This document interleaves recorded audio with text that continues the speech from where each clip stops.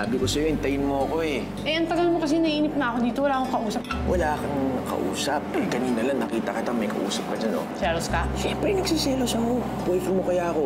Oh, something smells fishy. Akala ko ba si Joy yung pinoporma ni Mr. Trustworthy na yun? Bakit ka nakikipaghalikan sa kanya? Wala kayong pagsasabihan ng nakita ninyo, ha? Parang mahirap kasi i-grant yung favor mo bilang kinaladkad ako ng nanay mo palabas ng bahay niyo kanina. Kinaladkad ka ni Mama? Galing kasi kami sa inyo. Dapat magsasorry ako kay Joy dahil nagkungwari akong ako si Lucas. Sinabi mo na kay Joy ang tungkol doon? Hindi nga natuloy kasi nga galit na galit yung nanay mo. Akala ko tatadta rin ako kanina sa sobrang inis eh. Letlet, huwag mo munang sasabihin kay Joy na ikaw yung katext niya dati, please. Tsaka na pag, pag gumaling na siya. Ang lagay eh... Ano bang gusto mo? Bayaran pa kita? Anli tapa tsaka tosino na lang galing sa store ng nanay mo. Goods na ako doon. Ano kaya kung magbenta ako ng kidney at saka atay? Ano? Ini-entertain ko lang naman yung lahat ng pwede nating pagkunan ng pera. Lalo na ngayon, hindi ka naman makakautang kay Boss Manny. Meron pong pinakilala sa akin si Matthew na taga-Cancer Foundation. Pwede tayong humingi ng tulong doon. Ma, gusto niyo ako samahan bukas?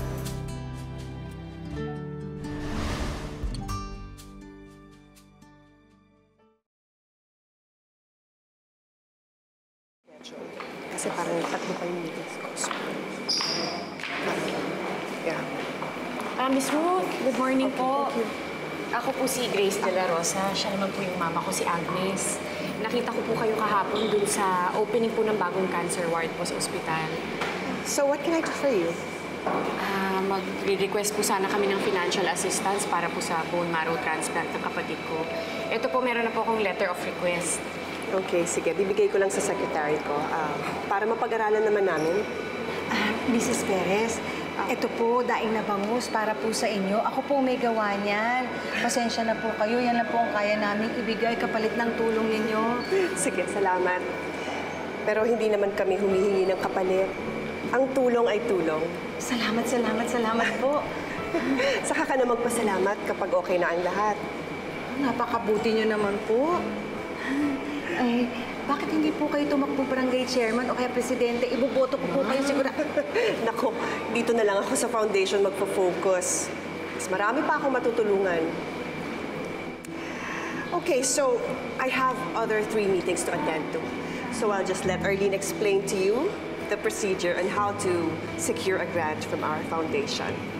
Okay? po, thank you po. Salamat ulit. Salamat Thank you. din po. Dito po tayo.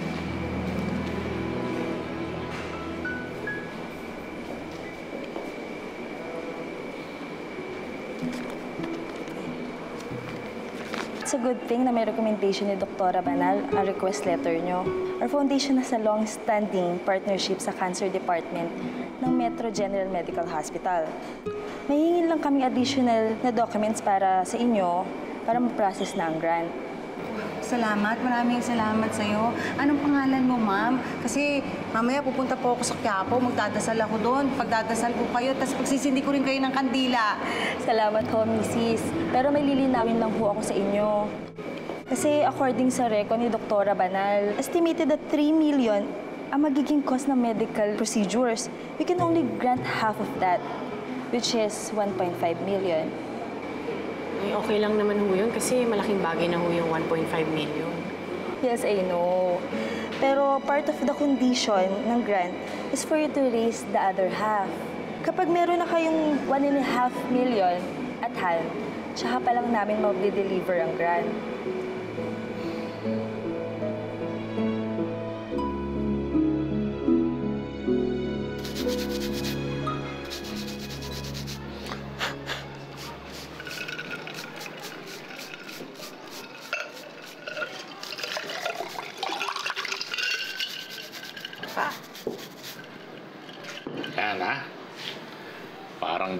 Brand new na uli yung corona mo. oh. Hindi ko na yan masusuot pa. Endangered species na buhok ko, di ba? Pwede. I-display ko na lang dyan. Para lagi namin maaalala kung gaano kami ka-proud sa'yo.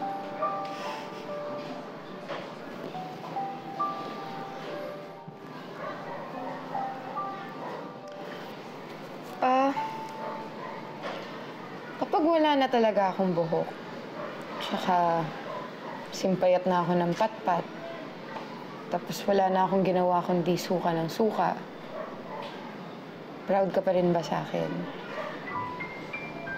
Maganda pa rin ba ako sa'yo? Oo naman. Ikaw lang ang one and only beauty queen para sa akin. Hindi hindi kami magbabago sa'yo.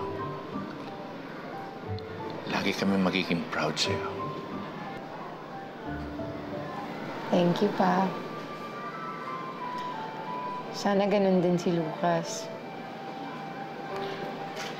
Bakit ba iniintindi mo pa yung Lucas na yun? Gusto ko nga busted din mo yun eh. Bakit naman? Eh kung eh kung paano kung lokohin ka? Paano kung ah, ah, magbago siya sa'yo? Paano kung Pa, paranoid lang. Bigyan mo naman siya ng chance. Kasi lahat naman ng pinapakita niya sa akin, sincere. Basta anak, pangako mo sa akin na gagaling ka. Huwag mo iiwan si Papa, ha? Ha? Opo, pa. Promise yan. Pinky swear pa. Mm. Oo, solid na yan.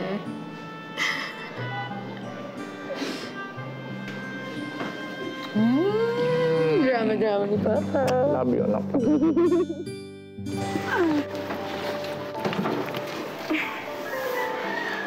Ma, ito po. Nak, mauna na ako sa loob, ah. Sige po.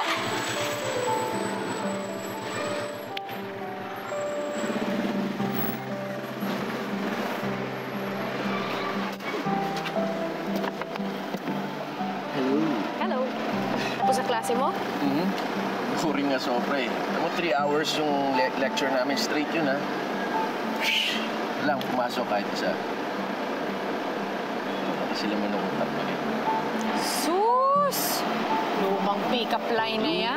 Kaya? Pumupurol ka na, Mr. Andrada. Wow, pumupurol, ha? Mhm. Ano, nang hamon ka ba? Ganon?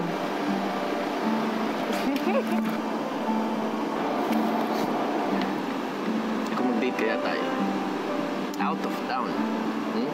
doon, papatunayan ko sa'yo na hindi pa ako gusto kaya offer mo. Kaso lang, hindi pa ako masyado sold eh.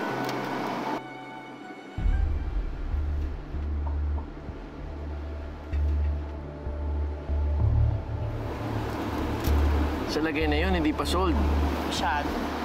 Siguro naman, hindi ka makakatanggi kapag pinagdagan ko pa offer pa.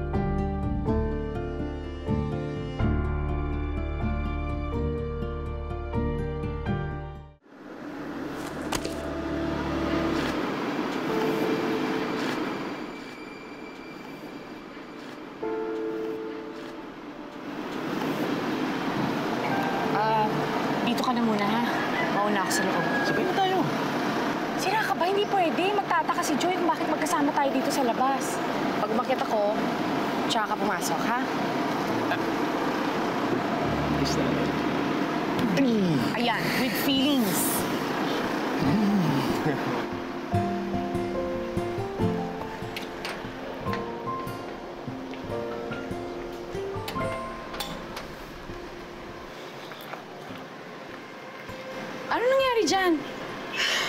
Ito, umiral yung pagka-clumsy ko. Hinahanap kasi kita eh. Saan ka galing?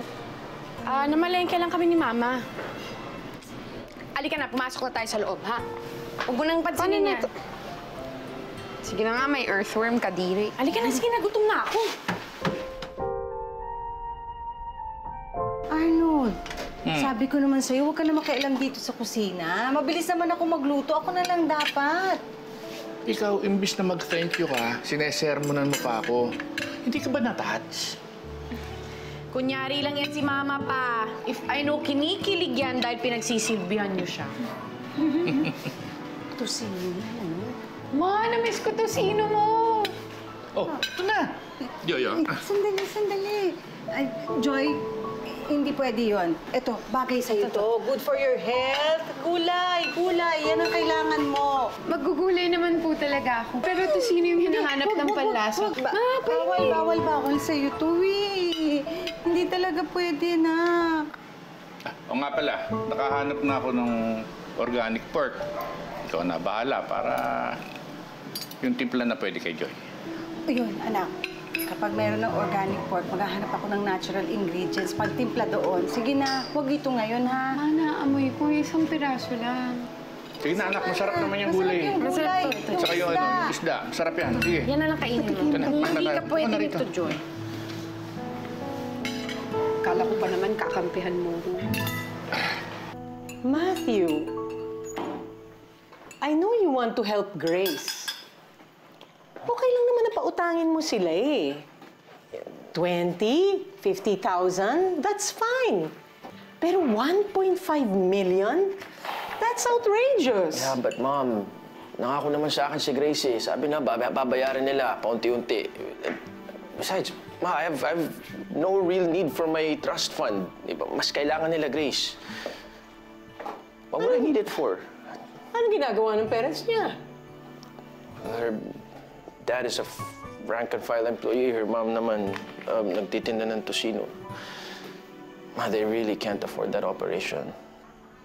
Okay, ah, Matthew. Pagpalagay natin pinautang mo sila ng pera. Pero paano naman kung ikaw ang biglang mga ilangan?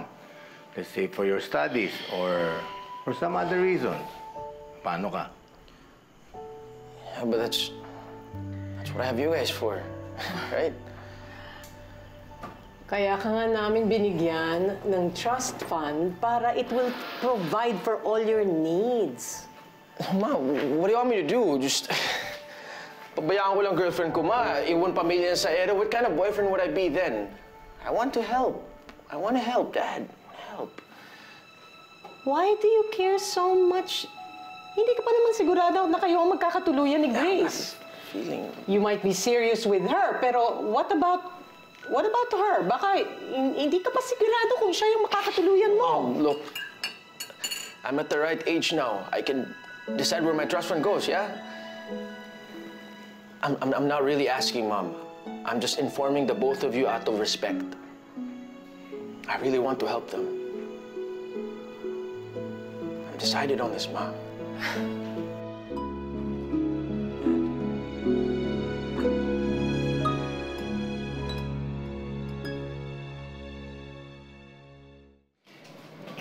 Magsabi kay Joy.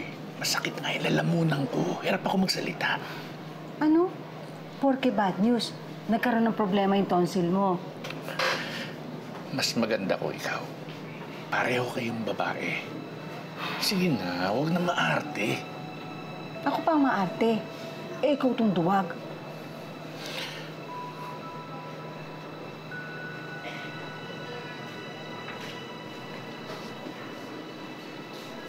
Oo nga.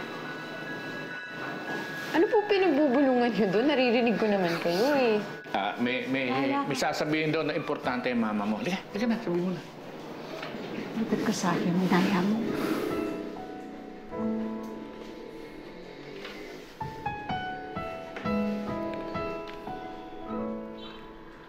Um, anak, natatandaan mo ba yung nag, nakipag-usap kami kay Doktora Banal? Meron kasi siyang sinabi sa amin eh.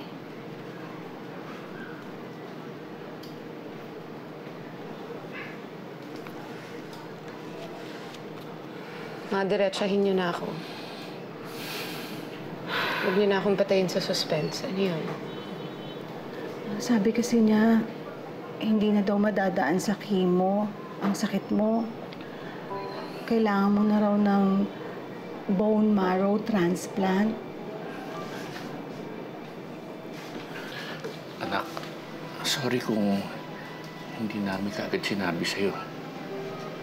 Ayaw naming mag-alala ka at uh, panghinaan ng loob. Huwag ka matakot, anak.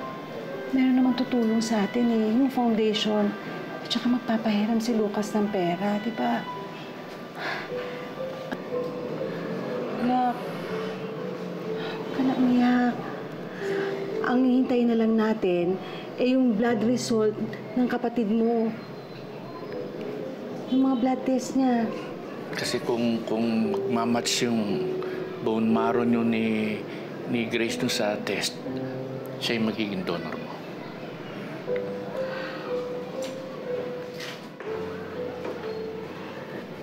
Ito na yun, anak. Naniniwala ako na gagaling ka na pagkatapos ng operasyon na to, anak.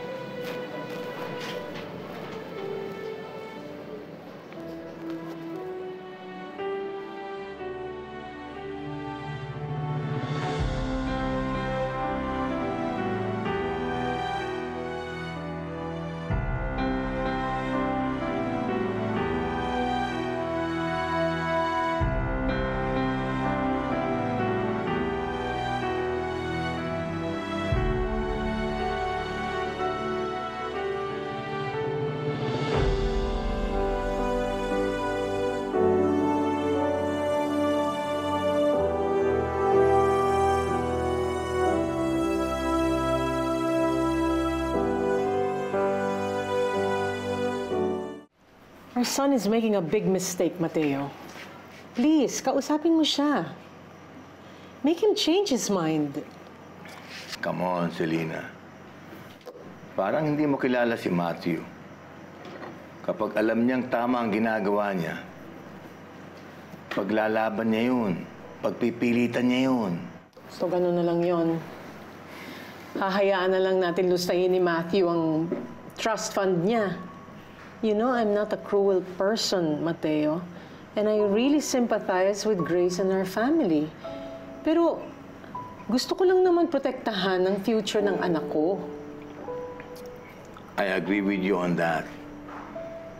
Pero paano natin pipigilin si Matthew? Kapag hinarang natin yon, lalo lang aalma yon. Lalo lang niyang paninindigan yung desisyon niya. Well, perhaps hindi si Matthew ang dapat nating kausapin.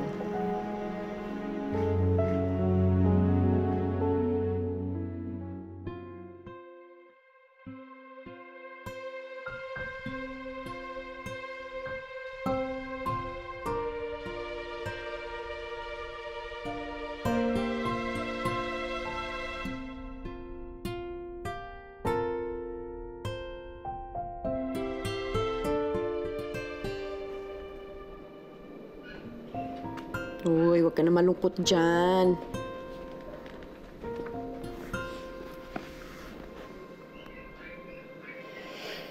Sabi ni Mama at Papa, nag-volunteer ka daw maging donor ko. Di ba takot ka sa dugo? Siguro nag-freak out ka nung kinunan ka nila ng blood sample, no? Medyo. Muntik na nga akong himatayin eh. Di mo naman kailangan gawin yun eh. Nung hindi ka dyan. Basta para sa ikagagaling mo, lahat gagawin ko. Kaya dead man na sa takot-takot. Titiis na lang ako. Hindi ko kayang mawala ka. Way, talaga? Kahit baliw ka at malakas mang asar, mahal pa rin kita, no? Kaya magpagaling ka na kaagad, ha? Ako kaya number one fan mo. Ang sabihin mo, gusto mo akong gumaling agad para hindi na ikaw yung laging inuutusan ni Mama. May maglalaba, may maghuhugas ng pinggan, may magluluto. Kasama na din yun. Yun! Luging-lugi na kaya ako. Kaya bilisan mo na magpagaling.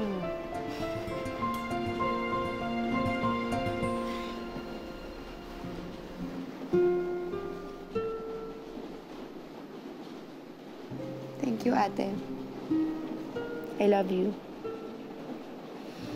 I love you too, pero kailangan mo na mag-toothbrush eh. Sige na, diretso ka na sa banyo. Grabe ka. Grabe ka sa akin. Magagalit pa ako. Sige na, lumipat ka na doon! Joy! Ganyan na lang para... Ay, ang daya mo. Hindi ka mag-toothbrush. May An- takip. layo ng tatabi sa akin. banyo eh. Lipat, lipat. Huwag kang tatabi Pero dito, ha? ganyan lang. Yuck, hindi na toothbrush. Kasi ayoko din maamoy, kaya hanggang ganyan lang. Ew, yuck. Kadiri Ay, ka. Good night. Ah, good night, ate.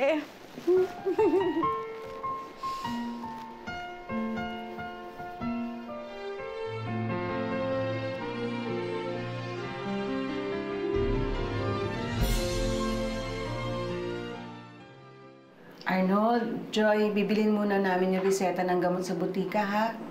May papabili ka, Joy? Um, Betamax. Para hindi na ako sasalinan pa ng dugo. Ni, sira.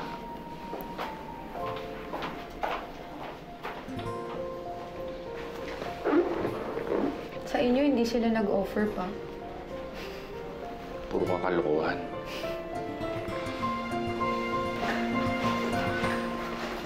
Dr. Andrada, good morning po. Ma, siya yung daddy ni Matthew. Kamusta po kayo? Kamusta po, Dok? Ako po si Agnes, nanay po ni Grace. Gusto ko po magpasalamat sa pamilya ninyo. Malaking tulong po yung pinapahiram niyo sa amin. Doktora Selena Andrada. Kamusta po? Matthew's mom. Di po ba kayo yung doktor ng mga artista? Oh, wow. Ma, siya pala yung mami ni Matthew. I- siya rin yung ano, isa sa mga judge po nung nanalo yung anak ko sa Perlas ng Silangan. Look, Grace, I'll go straight to the point. Walang blessing namin ang decision ni Matthew na pautangin kayo.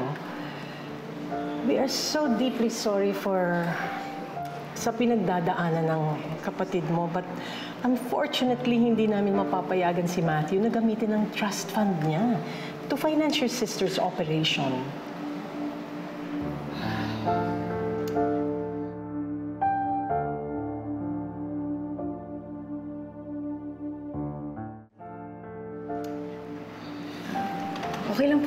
Hindi naman po namin pinipilit si Matthew eh. Siya naman po yung nag-volunteer. In that case, I expect na pipigilan niyo si Matthew kapag nagpumilit siya. After all, hindi naman responsibilidad ni Matthew ang kapatid mo. And I think dapat ang mga magulang ang gumawa ng paraan. Gumagawa naman po kami ng paraan. Ang dahan-dahan lang po sana ng pagsasalita. Ma, Um, sa pagsabihan niyo po yung anak ninyo, hindi naman po namin ugali na manggamit o mandamay ng ibang tao. I hope you understand. Alam niyo po, concerned lang kami. Because you know, as a parent, syempre iniisip din namin na baka si Matthew naman ang magka-problema later on. Magsalita ka, Mateo. Let's go, Selena. Oh,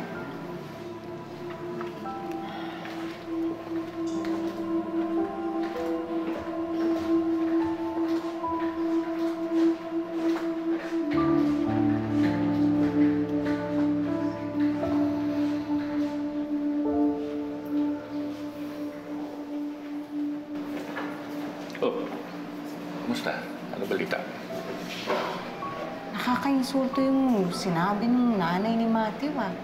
Pakiramdam yata niya, inuhututan natin yung anak niya. Eh, ano ginawa mo? Eh, kung palagay mo narugabyado ka, di sana pinatulan mo. Pa, ginagatungan niyo pa si Mama eh. Grace, pagsabihan mo yung boyfriend mo, ha? Masakit yun, ha? Masakit yung sinabi. Ma, inuuna niyo yung pride tsaka yung galit niyo eh. Meron tayong mas malaking problema dito. Hindi na tayo makakahiram kay Matthew. Saan tayo kukuha ng 1.5 million? Oy, isasanla ko yung bahay at lupa natin. May kausap na ako tao. Ah, may bibigay niya ah, mga sa susunod na buwan. Pero, pa, yun lang yung pamana sa inyo ni Lola. Mas mahalaga yung buhay ng kapatid mo, Grace. Pwede naman tayo mga pahan eh. Ha?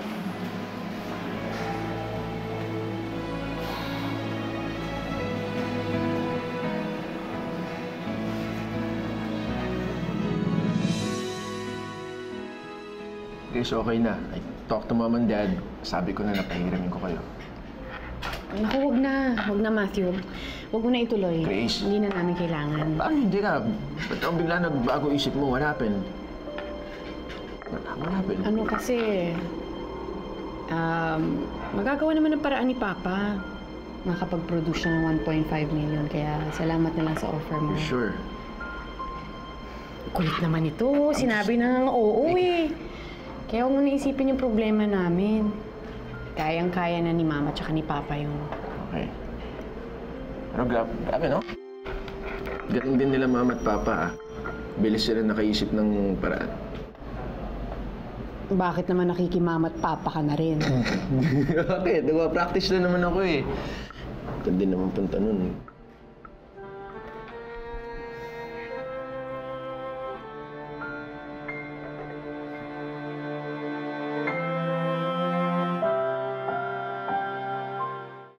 Okay, these are the results of the series of tests of Grace. Good news. It's a match.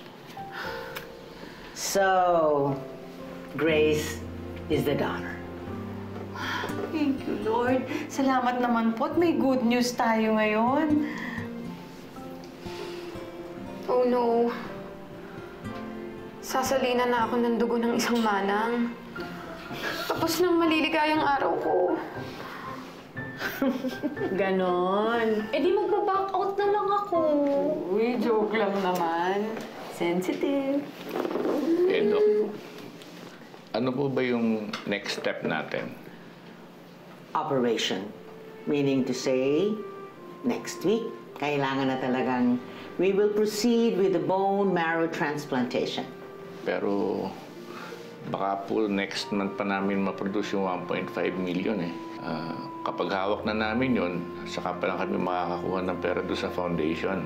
Baka naman po pwedeng i-postpone muna natin yung operasyon ni Joy at i-reschedule na lang natin sa susunod na buwan. Mr. De La Rosa, crucial ang time element sa condition ni Joy. The more you delay, mas lalong bababa ang chances ng remission ni Joy. Huwag niyo nang hintayin mahuli ang lahat. Paano ba yan, Arnold? Hindi na natin mahihintay yung kausap mo sa bahay at lupa. Saan tayo kukuha ng isa't kalahating milyon?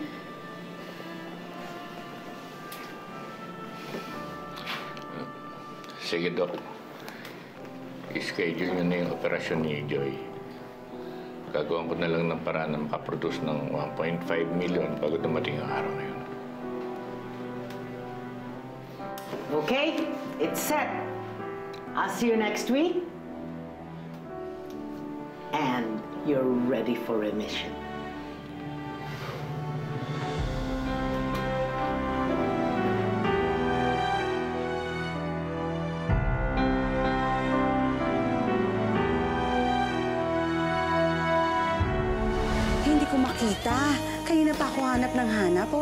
Wala operasyon ni Joy? Paano isasanla natin? If you don't mind my asking, may boyfriend ka na ba? Irereto sana kita sa anak ko. Stop worrying. High-tech na tayo ngayon, Joy. Hindi ganun kasakit, promise. Hindi na ako natatakot. Naisip ko lang, paano kung pumalpak siya tulad ng chemo? Paano kung hindi gumana yung operation? I really like you. Alam mo yung mga tipo mo yung gusto kong makatuluyan ni Jacob. Magkakilala kayo? Yes, Miss Ate, pick-up line. At ikaw naman yung kilabot ng single mothers. Sorry talaga. No itulo, no deal. Yun lang. May inuutos lang kasi si Boss Manny sa'yo. Deposito mo raw ito sa account ng supplier natin. Hello, Arnold. Hello, Agnes. Nagawa ko na ng paraan.